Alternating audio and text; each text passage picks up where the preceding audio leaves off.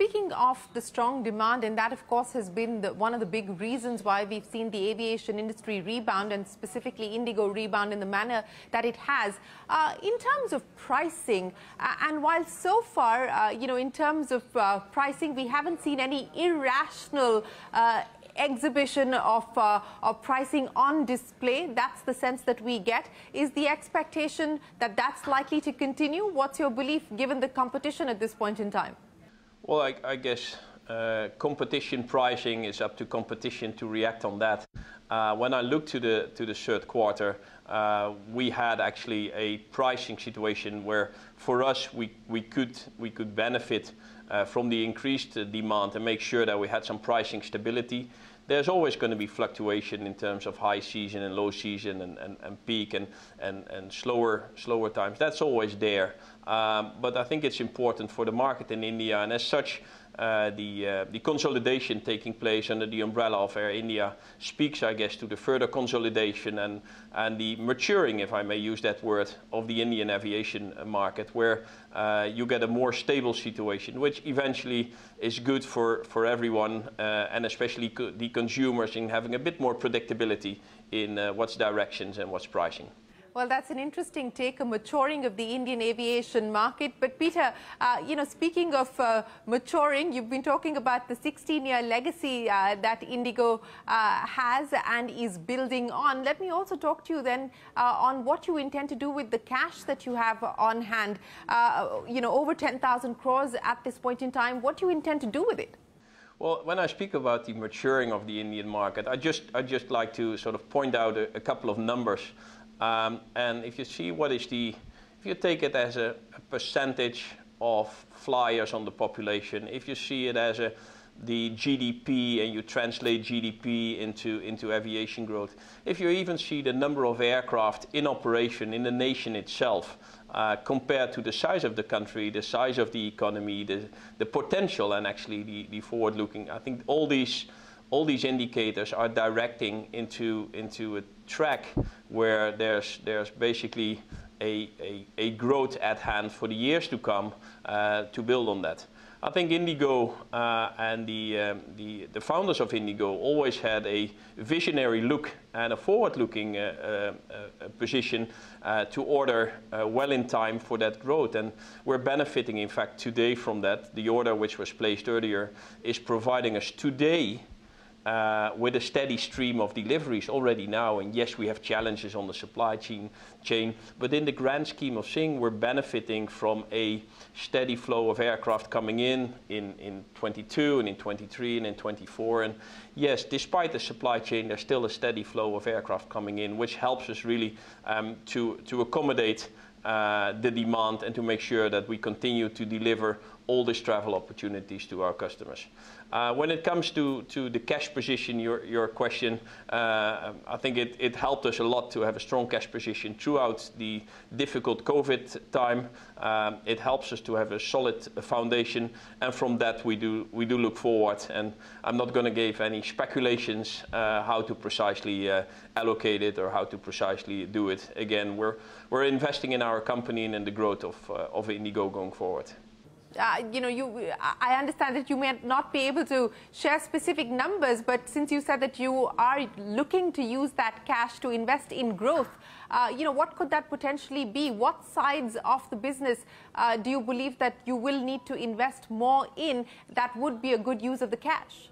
Well, again, the very core of Indigo is to continue on what we have, what, what has been the success of Indigo for the past 16 years, and uh, to grow from a, a, zero basis to 300 aircraft in operation, uh, which we, the milestone we achieved in January. I think there's no, no uh, airline in the country yet which has achieved that 300 aircraft milestone.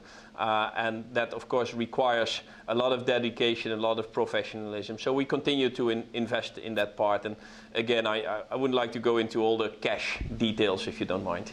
Sure, I understand. Uh, uh, you know, you spoke about the promoters and you spoke about uh, the promoters having the foresight to have placed large orders, and that has been part of Indigo's history. Uh, I, I, don't know if you can answer this or not, but this is certainly something that the market uh, does see as an overhang on what Mr. Gangwal intends to do with his uh, remaining stake in the company and whether there is any uh, clarity on offloading uh, that stake. Well, that, I would say that's totally up to him and the uh, the understanding which which uh, which which there is, and and I, I would not be able to to comment on that. Uh, that's really up to uh, to the shareholder himself what to do with that. Uh, fair enough, Pieter. So let me end then by asking you, uh, you know, given uh, where demand is, given the outlook for growth at this point in time, what about hiring plans? You know, it was a difficult period for the aviation industry through COVID. Now that we have seen demand stabilize and go back to pre-COVID levels, what's the outlook as far as hiring is concerned? Well, yeah, that's that's that's a very valid point. And if you take a bit more a global uh, approach there, uh, a lot of a lot of carriers have been have been challenged uh, with the return of travelers and with the sort of return post-COVID.